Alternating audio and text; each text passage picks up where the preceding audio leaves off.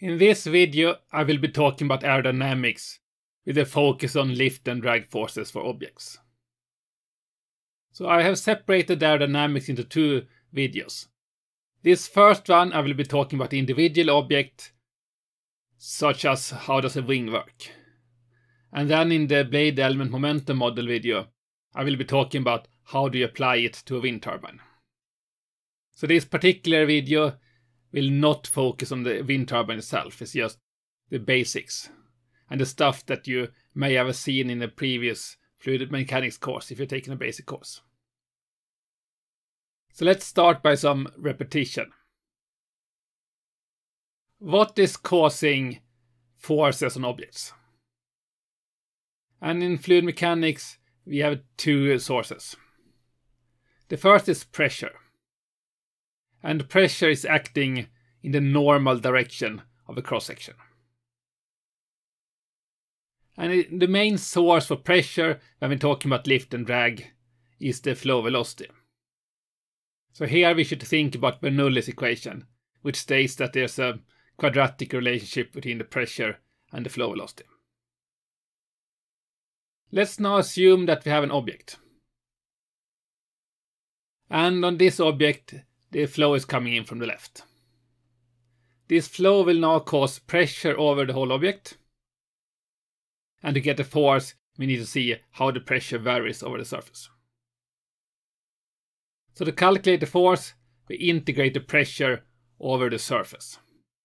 And the pressure is acting in a negative normal direction. So in minus n hat. The next source is the shear stress and shear stresses are caused by friction forces in the fluid. So now it's the viscosity that's causing it. And we should notice that we see that we have two different directions for this surface. And in practice we actually have a fully three-dimensional tensor that have nine components. And now if you want to calculate the force due to shear stress, First, we can draw the shear stress in the figure. And the shear stress will be acting in the direction of the flow velocity. So now we need to integrate this force over the area, which is given by this general expression, where the tau here is the full tensor.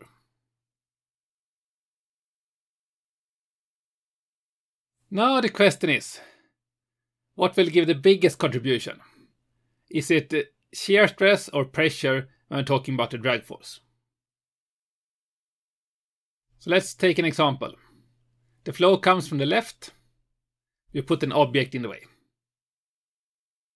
For this object, we can start by checking the area. We have a very big area that the pressure can act on in the direction of the flow.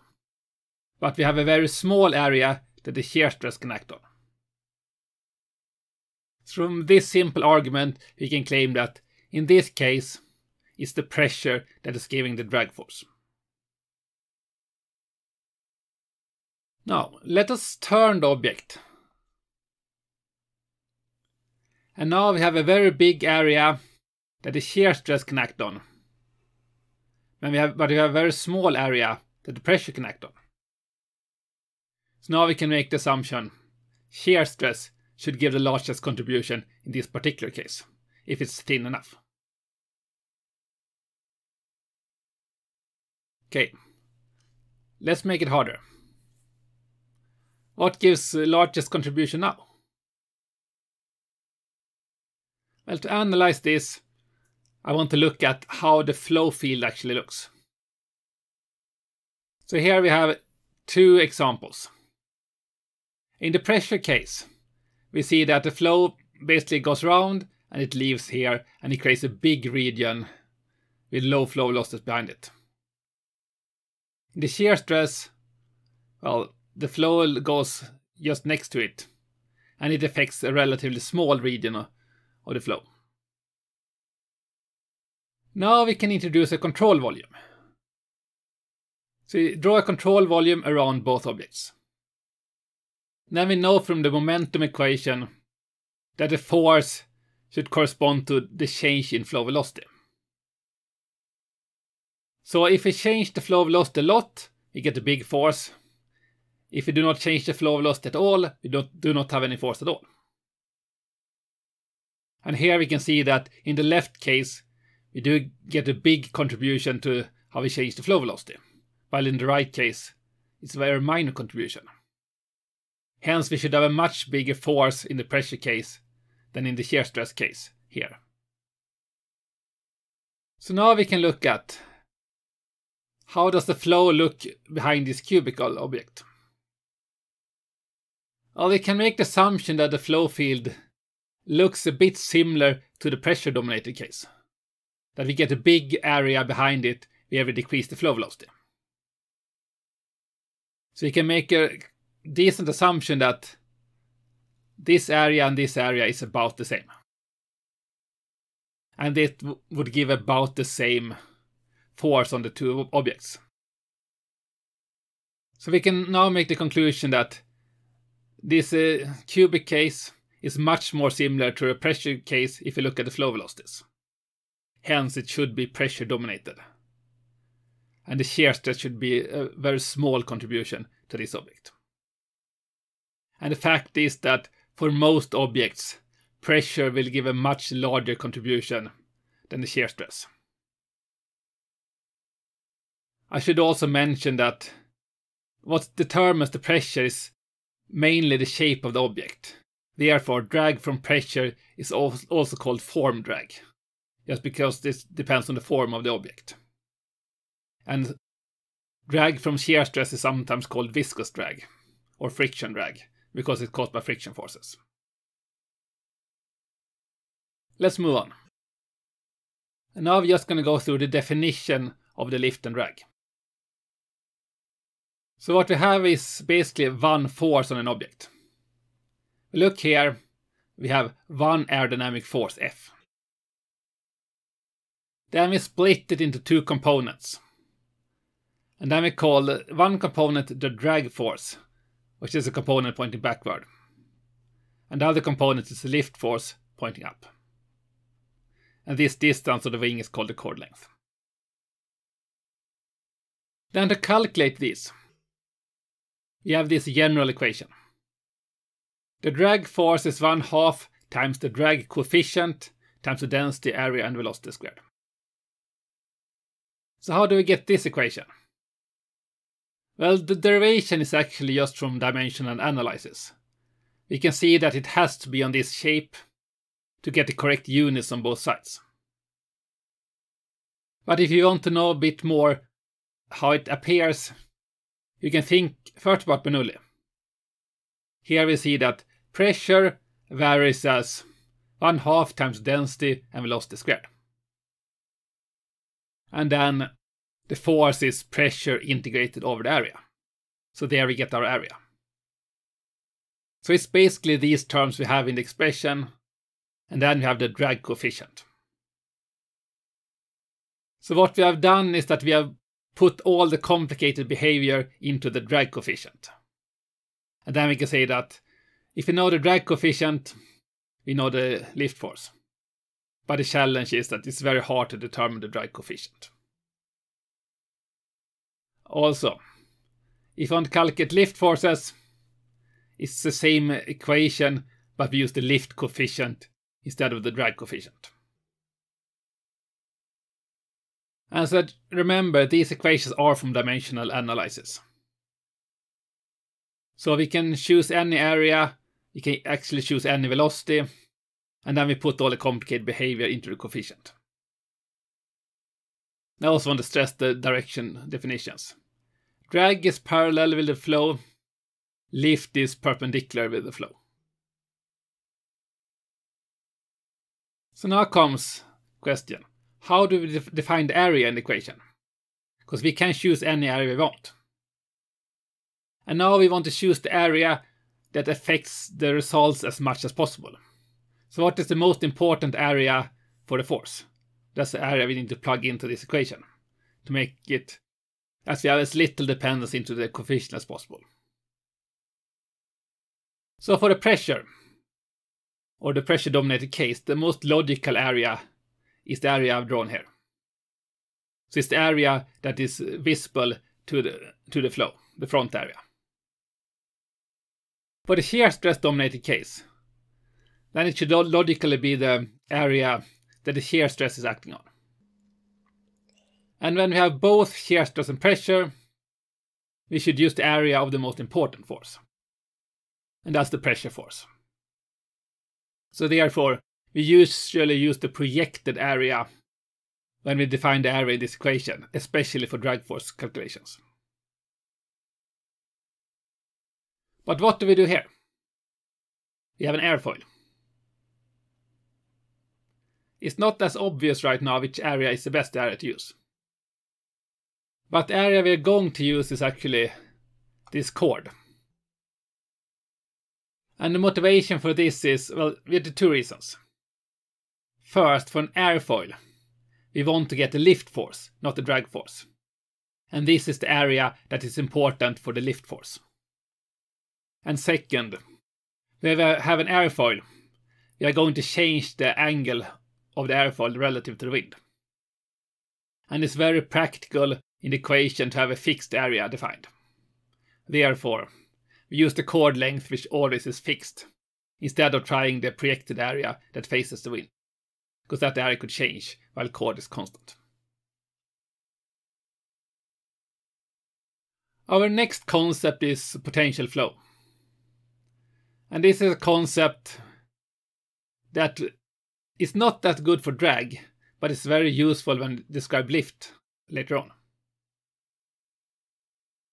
The concept is like this. If we assume inviscid flow and irrotational flow, so we assume that viscosity is so low that it can be neglected, and that we do not have rotation in the flow. The motivation for this assumption is as follows. You can prove that you cannot create rotation in the middle of the fluid. It can only be created at the boundaries, and then due to viscosity. Hence, people assume that it should be possible to neglect the rotation. And if you neglect rotation and viscosity, now you can write the velocity as a potential. So this is just pure math that if you have a rotational free field, you can write it as a potential. Applies for all vector fields. Then we insert it into the incompressible continuity equation. Now plug in this velocity, and you see that you get Laplace equation. And Laplace equation, this is an equation that is easy to solve. Among the partial differential equations, it's probably the easiest one to solve. So this is something people did long time ago. Back before we had computers actually work on. There's a problem with this solution though. This is what you would get if you solve it for a cylinder. Now, let's add in four points. So you have points A, B, C, D. What is the pressure in these points? Well, Bernoulli's equation states that you have the direct relationship between pressure and velocity if you follow a streamline. And since the flow is following the streamline, this is okay. Now Bernoulli states that we have the same velocity for each point. And same velocity then has to mean we have the same pressure. If you have the same pressure directly from symmetry, the force is zero. And you can always create four points distributed like this that you get symmetry between them so all the pressure forces cancel.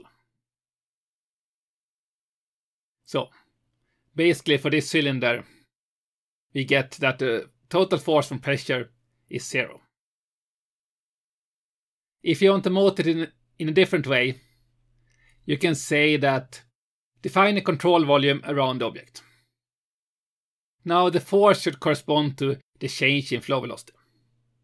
And since the flow velocity looks the same at inlet as at outlet, there cannot be any force. So, general conclusion. If the flow is irrotational, the flow will follow the surface and the drag force due to pressure is zero. So this is still an important result to think about. Because if we can manage to create a flow that follows the surface, you will get zero force due to pressure. And this applies to any shape, it's not just a cylinder.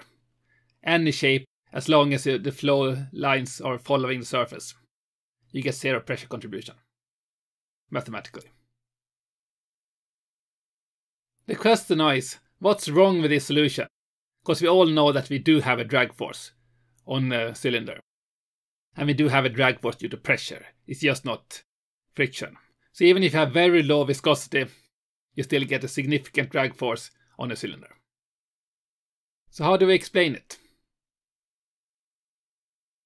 Well, the solution came basically by Ludwig Prandtl in 1904. And it did show why you do get drag even if the viscosity is really small. So the basic thing we can say is that the limit when the viscosity goes to zero is not this zero viscosity solution we got from potential flow. So we get a different solution with very, very low viscosity. So what you're going to do when you do this um, boundary layer, you're going to split the flow into two parts. So these two regions, what we have is that one region is very close to the object, and this close region, we do affect the flow velocity. And this region where we actually affect the flow velocity, it can be very, very thin. But we always have it. So closest to the surface of an object, viscosity will always give a small region where we have a different flow velocity than the potential flow solution. It becomes smaller and smaller the lower the viscosity is, but it will always exist. And then the other region is the region outside where the flow is the potential flow solution. So in the region outside we can approximate as the flow looks like the potential flow solution. That's the core of the boundary layer idea. Now to talk a little bit more about the boundary layers. There are two types of them. You have laminar and turbulent boundary layers. So what we get is that the flow comes in from here, and as soon as we reach the object, we're going to start building up a boundary layer. And the boundary layer will be growing the further along we travel. Then at some point, here we have the transition, where the boundary layer becomes turbulent. And the turbulent boundary layer is a very chaotic boundary layer. So in the laminar it's ordered, in the turbulent it's chaos. And then in the region outside this line, we can assume it's constant flow velocity. And the point that determines where the transition is, is the Reynolds number. Or it's the main component. And the Reynolds number we define it as the flow velocity times the distance from the start of the plate divided by the kinematic viscosity. And I should mention that for an object such as a wind turbine, the big ones is they are going to get the turbulent boundary layer. So the limit where you get 500,000 is it's a, it's a small scale wind turbine. Small turbines are in the laminar region, the big ones are in the turbulent region. That's about where this 500,000 will end up. Can also mention how the shear stress correlates to this. What happens is that, well, you have this flow, the flow goes from zero up to the full velocity. And the shear stress is given by the velocity gradient. This means here that the bigger the gradient is, the higher the shear stress is. So here in the beginning, when we have a very quick region where it goes from zero to full speed, then we get high shear stress. And then the thicker the boundary layer becomes, we get lower and lower shear stress because the velocity gradient is lower. Then when we get turbulent boundary layer, the shear stress will jump up again. And then continue to going down. So if we want to minimize the resistance from shear stress, we want to keep the boundary layer laminar as long as possible. Now let's talk about this transition point when the boundary layer turns turbulent. So, this is affected by mainly Reynolds number. So it's approximate at 500,000. But we can change it a bit. So we can change it by how the surface of the object is. So if you have a coarse surface or high roughness, that will induce small vortices into the flow, which will trigger this turbulence. So you can create turbulent boundary layers at much earlier than Reynolds number 500,000 if you make the surface rough.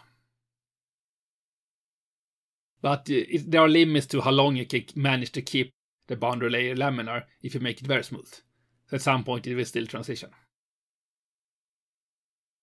The next is the pressure gradient. So it's basically that after the thickest point, when the pressure starts to increase again because the flow velocity is decreasing. So in the beginning, flow hits an object, it will go around the object and it will get higher flow velocities.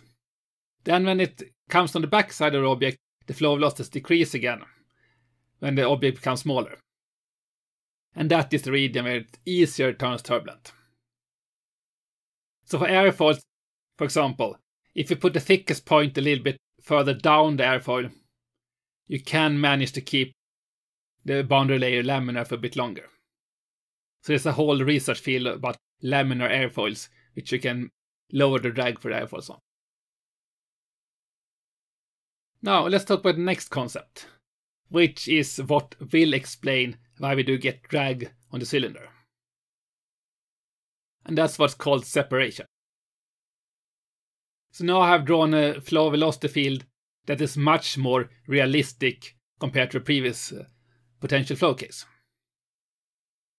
So what we do get is that about the maximum width of the object, somewhere there, the flow could leave the object, and we have a, called the separation.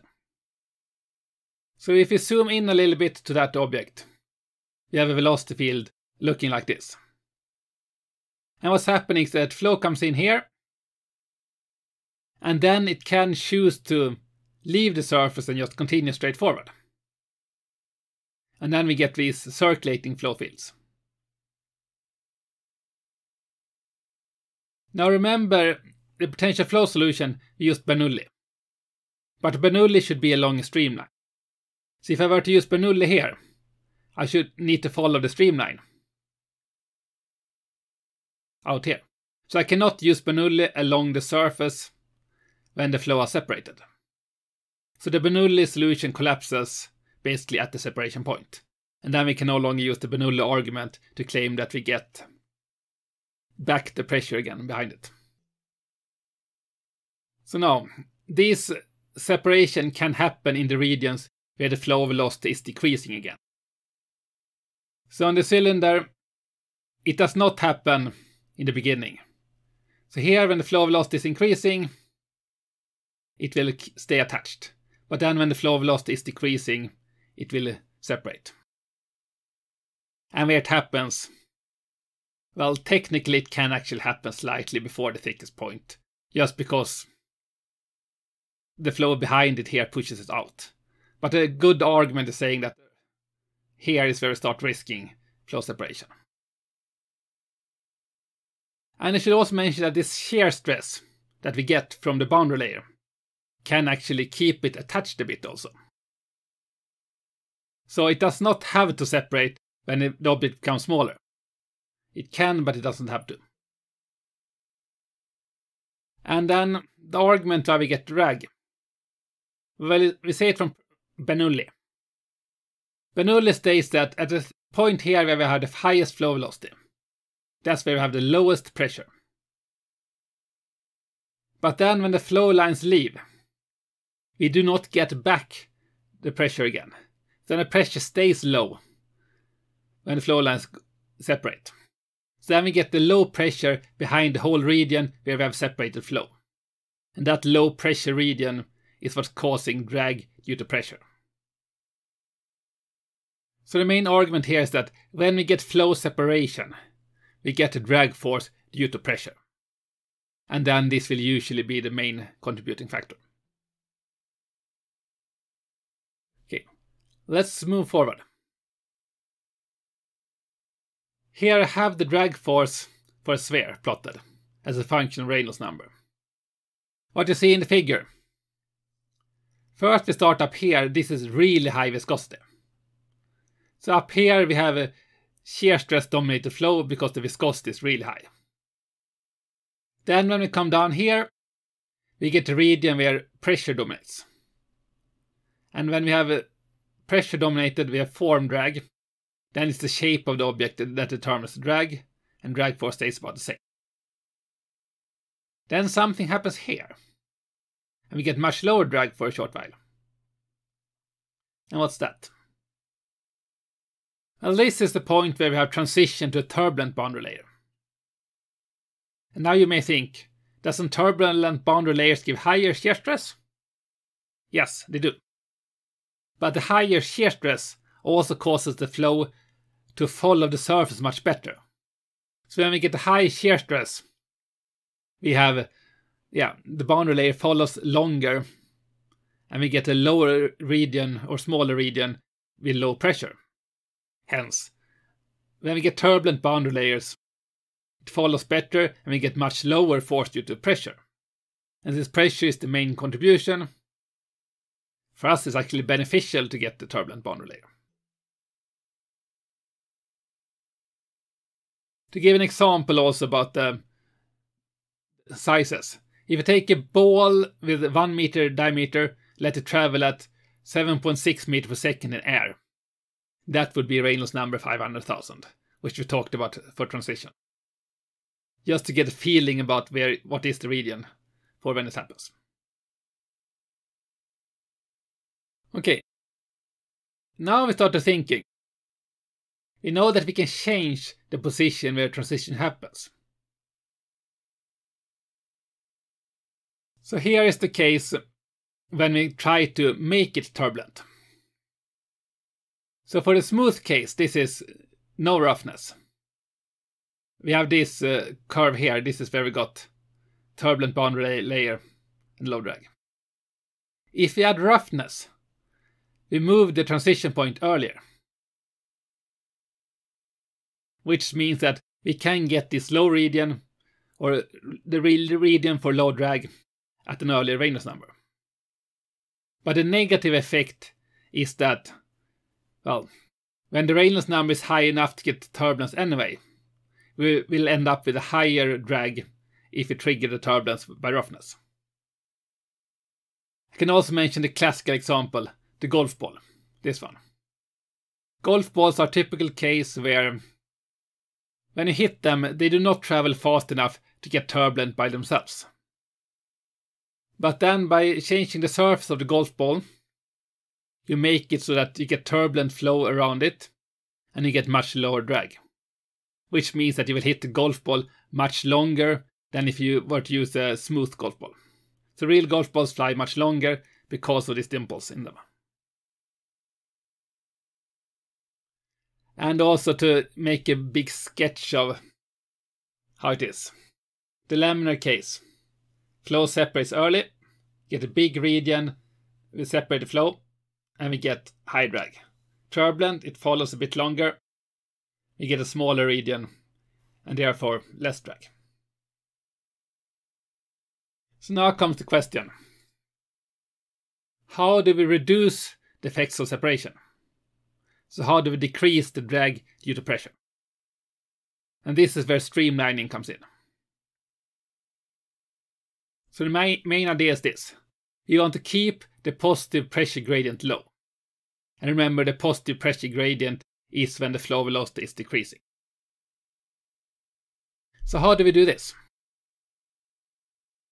Well, the main idea is to keep the curvature low when we have the positive pressure gradient. So this is typically after the thickest point. So now comes in the classical airfoil shape. To explain the shape, in the front, we have a round shape, because we know that flow cannot separate here. Then after the thickest point, we make it so it um, decreases slowly. And this will then reduce the positive pressure gradient and increase the chances that the flow stays attached. And that's why we have the sharp trailing edge, but the round leading edge. So there's no point adding a sharp leading edge in front here. So here it should be round, here it should be sharp. If I made it sharp here, I could actually trigger separation by this sharp point directly. So, for objects traveling in air, you will see this round shape, sharp edge. The objects that are sharp in the front, that's usually when you have wave drag. For example, a boat, then you will make it sharp. Or if you travel at high Mach numbers, so you get supersonic speeds, then you also make it sharp for, for wave drag. But for low Reynolds num or for low Mach numbers on airfoils, you may use them round leading edges. So you can compare like the shape of a submarine, the shape of an aircraft, and so on. Or even look at the shape of a fish. Then you'll see this kind of form on them. And to illustrate this for different shapes, I did a try and did a CFD simulation for four different shapes. So this is a very trivial steady state CFD simulation in ANSYS. And I had the four shapes. One airfoil shaped, one cylinder, and then two cups. One that is uh, with the opening facing the flow and one opening to the back. And what we see? Well, this is absolutely the worst case when we have this cup shape here. If you turn it 180 degrees, it will be much better. So this is the phenomena you use in wind power, for example, drag-based turbines, or this cup anemometer that's measuring wind speeds. They're using that this cup has different drag depending on the shape it has, or depending on the which side of it that's facing the wind. The cylinder, well, is quite similar to the cup at the bottom. But we see that the streamline shape, then we can almost not see any separation at all. And it doesn't change the flow velocity behind it much either. So what you can say is that the bigger area you get here, the more drag you have. Therefore this area here has very little drag. And this one has very much. And if you want to see the streamlines, I just plotted them also. So you see that the streamlines do leave the surface for the three bottom objects, which is what's causing the separation region and the drag. But this is steady state, and the situation is not that simple. So now we're going to see um, a time-dependent solution of the cylinder. So now I place the cylinder inside the, well, channel. So watch what happens when it starts. It starts to start building up a wake behind it. Now the wake becomes unstable. And what we're going to see is um, basically an oscillating solution. So the big thing you see in the beginning, that's just the starting process. But after a while, this will give a periodic solution where we have a flow that is oscillating back and forth. And now we can think about what does this oscillation do? Well, if we change the flow velocity back and forth, we can expect forces due to the momentum conservation. So this will get an oscillating force on the cylinder. And this is a phenomenon that happens basically behind all objects. As soon as you get separation, you get this region where the weight behind it becomes unstable and you get an oscillating force acting on the object. So it's very good to know that these steady state solutions do not exist in reality for separated flow. You will get a flow like this. So let's leave it and talk about the lift force instead. I will start by doing the rotating cylinder. So let's add the rotation around the cylinder and now I'm showing the potential flow solution. So when it becomes 1, the rotating velocity is same as inlet velocity. And when it becomes 2, uh, you get zero velocity at the bottom. So if you add the rotation, you will curve the velocity field. And this would give a force. Because now we're changing the flow velocity. So let's take the example here. We have a rotating cylinder or a ball. It's traveling to the left. This means that it will experience an incoming wind traveling to the right if you look at in the ball's own reference system. Now we can see that on the top, the incoming flow velocity and the rotation have the same direction. This means that we get a big flow velocity if you're looking into the reference frame of the rotating object. So when you look in the moving or reference frame, you get a big velocity on the top, but at the bottom, they have opposite directions, so you get a much smaller velocity field. Now, Bernoulli's equation states that high velocity means low pressure, and low velocity means high pressure. And this gives a pressure difference between the up and down side, and we get the lift force. Another way of motivating it is that define a control volume around the object. Then we see that the flow velocity comes in at one direction, goes out at another angle. So we have changed the direction of the flow velocity. That means that we need to get the force in the opposite direction. And the more mathematical explanation to this. Well, if it list the potential flow solution to this case. What we would have is that this term here, this is the case without any rotation. And that this extra term here is the rotating flow we added. And just to list, the definition of circulation is that you take the line integral around the object.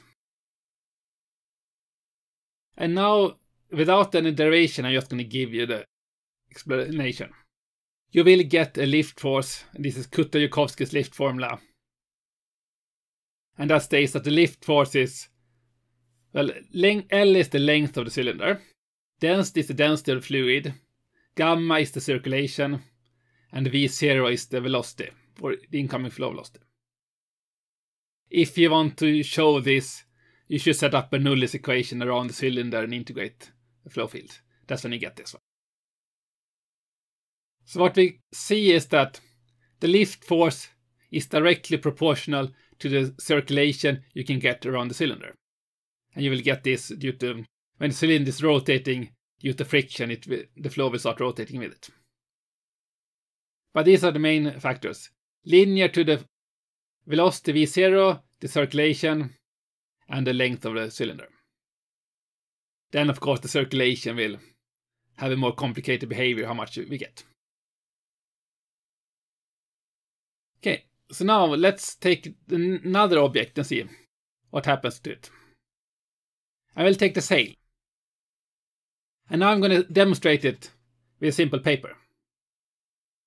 So first is a very classical example. You take the object, paper, blow underneath it. The paper lifts up. No surprise to anyone, I guess. The air will just push it up. But what happens if you blow on top of it? The paper lifts up in this case as well. How can we explain that? Why did the paper lift when I blew on top of it? And it did lift when I blew underneath it. Well, let's look at the flow lines. The flow comes in, curves around therefore. We change the direction of the flow, we get the lift force up. And the same thing happens when I was blowing on top of the paper the air tend to follow the surface of the paper, which uh, basically causes the air to curve down and it will lift up the paper. So it doesn't matter if the flow went underneath the paper or above it. Both cases change the flow velocity to point more downward, and we got the force pointing upwards. So basically, air follows, and we get to change the direction. The explanation is directly from Newton's laws. So this is the main concept about lift force. We should basically change the direction of the incoming flow velocity. So we turn the incoming flow velocity And then we get the lift force. So let's continue and talk about the wings instead. First, I'm going to give the definition. We add in a line parallel to the flow velocity. We add in the chord line. And then we define the angle of attack as the angle between these two. So this is the angle of attack alpha. It's the angle between the wind direction and the chord line of the. Now let's continue with an example. And now I'm going to show you the potential flow solution for the wing. The first case will be without any circulation. So now I'm changing this angle of attack. And watch what happens to the flow lines. So these blue lines represent the direction of the flow velocity. So they're called streamlines. Notice that the flow starts to looking quite weird down here. The flow is coming in, making a 180 degree turn and going up here and here it leaves. This does not look very realistic, does it? The flow will not do a 180 degree turn in reality. So now comes the Kutta condition.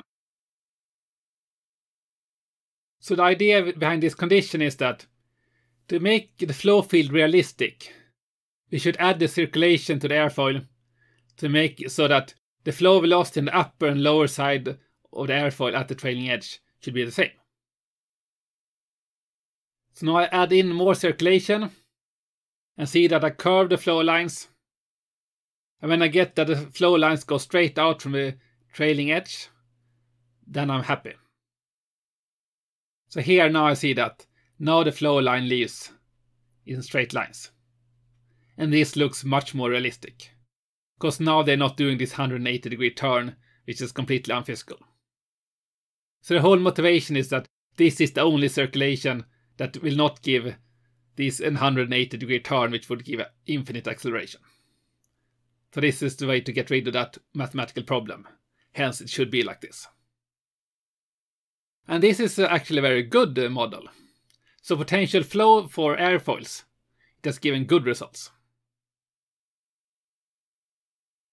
So now, let's look at it again, but now I am adding the circulation to always match the angle. So now I'm getting... Well, you can see that the more I change the angle of attack, the more I'm curving the flow lines. But now it starts looking a bit too much, right? This does not look realistic that we can get this much, or that we can get these flow lines. Because now it's um, looking very weird here at the top instead. So, we'll soon come into the problem of what we should do about this. I want to mention first though that the circulation is proportional to sinus of the angle of attack. And for small angles of attack, we can say that sinus is approximately just the angle of attack.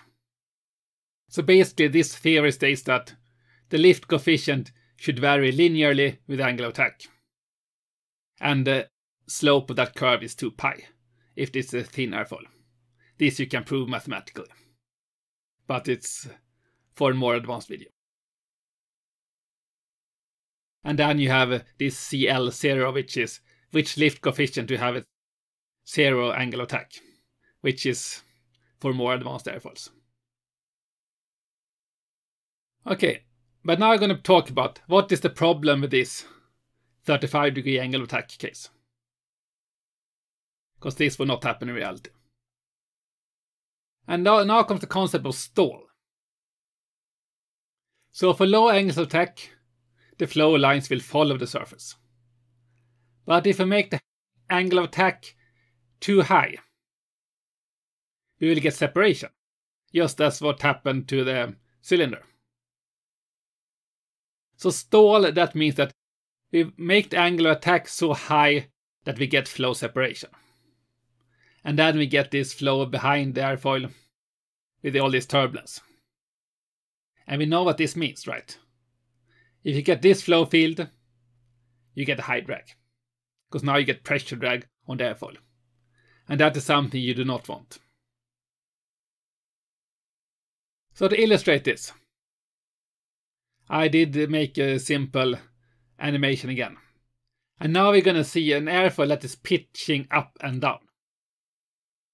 So it starts at a low angle of attack. It will slowly decrease its angle of attack. And now you can start to see some tendencies of separation close to the back of the airfoil. And soon we're gonna see real separation. So now it starts to separate all the way at the leading edge or at the front of the airfoil. And now you'll also start to see this oscillating flow behind the airfoil. So when we stall the airfoil, we're gonna get oscillating forces on the airfoil. Now the simulation has started pitching down again. And I want you to watch at what happens with the separated flow. It will actually stay separated a lot longer or for much lower angles of attack when it goes down than what it had when it was going up. And this is a delay in the separation. This phenomenon is also called dynamic stall.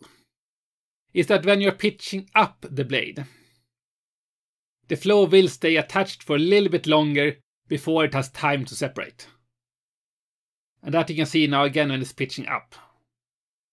That the flow is staying attached for angles that it was very well separated when it was pitching down. And this is also a concept that will make the flow around airfoils basically a bit more complicated. So, I wanted to know that the flow around airfoils is a very complicated topic, and there's a lot of phenomena to consider. The most important part here is to know about what is stall. You should know that stall happens at a high angles of attack, it gives slow separation, and that gives oscillating force on the blade then it's good to know that you have these dynamic effects. And then when it's moving, it behaves quite different from when it's static.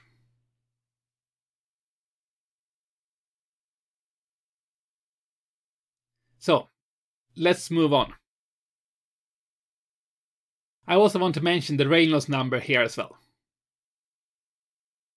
So what we usually get for airfoils, if we increase the Reynolds number, det usually means lower viscosity or if we go up in size. Airfoils usually behave better when we have high Reynolds numbers. And we can clearly see it here. This is for the NACA 0021 airfoil. So that we get, for a high Reynolds number, we get a much higher lift coefficient than the low Reynolds number case. And we also see that this airfoil stalls at angle about 9 degrees. This one stalls at about 12, 13 degrees. Here we are up about 15 degrees before stall. So high Reynolds number is good for the airfoil performance. So you get stall later, you usually get lower drag and more lift. And this, for wind turbines, it makes it so that it's easier to get good performance of a wind turbine if you make it big. Because then you're operating at high Reynolds number and then, yeah, good blade performance. I also want to mention these airfoil shapes. Because I think most people think about this when they think about an airfoil. That you have a curved up here, a bit flatter underneath. This is a cambered airfoil, while this was a symmetric one. So what happens if you use a cambered airfoil? Well, a symmetric one, it looks the same independent of which direction pitched in. So it's a, if you go to negative angles of attack, well, you get the negative lift coefficient, but it's uh, symmetric around the zero point. If you use a cambered airfoil, you will have some lift force at zero angle of attack. So a zero angle of attack, you will be up here. But you will have the, exactly the same slope It's still about 2 pi, this slope. Then what can happen here? The reason you want to use cambered airfoils, well, you can get a higher angle of attack before stall if you design your cambered airfoil well. And it can also be possible to get airfoils that get lower drag. So you can get better performance from the cambered airfoils. But this is higher or corrections. Basically, they all both are linear and it's just a shift, uh, so basically an offset in the angle attack. But what you want is that you want this. If you can get a little bit higher lift coefficient, then you want to go for cambered. That can be beneficial then. Now, as a final topic, we're going to mention the wingtip vortices. So, if you have an airplane, underneath the wings, you're going to get a high pressure. And above, you can have a low pressure. This is needed to lift the plane up. But what happens at the wingtip? If you have a flow like this, high pressure here, low pressure here. We know that flow wants to move from high pressure to low pressure. And then at the wingtip, there's a shorter path to take, and that's going around the wingtip. So the flow can sneak around the wingtip. And this is what will, what will cause the wingtip vortices. And then you get two big vortices behind an airplane. And you will always have these vortices. And if you want to know how, how big they are, you can actually get it from the Kutta-Joukowski lift formula. So it's very easy to prove mathematically that circulation is conserved. Basically that vorticity is a divergence-free field. Which means that the circulation of the tip vortex is exactly the same as the circulation you have around your blade that is generating the lift force. So if you have a high circulation around your wing, you get a big tip vortex. And you will always have them. So this is mathematically strict. You will have to have the circulation will have to go somewhere, and that is into the tip vortex. So, how do we explain it? Well, we have an airfoil. And then assume that this is the velocity from the plane. So the airfoil is an incoming velocity. Now these tip vortices, they will cause a flow going down. And that is called the induced velocity. So this just the vortex shape will push flow down. Although another argument for why the flow goes down is that if you want to generate the lift force, you have to push flow down to conserve momentum. So just from the momentum equation, you can also say that you must push flow down to get the lift force up. So the induced velocity is just the velocity needed to keep the plane flying, to overcome the gravity loss. Okay, let's add these vectors together.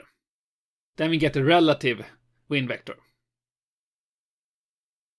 Now we should know that the lift force is 90 degrees to the wind vector and that is the relative wind vector. So you get a lift force 90 degree to this one. And then we can divide this into two components. And one component is acting in the same direction as the flow velocity. And this is the drag direction. So therefore, this part of the lift vector that's pointing backwards that's what we call the induced drag. And I will talk a bit more about the induced drag in the blade element momentum video.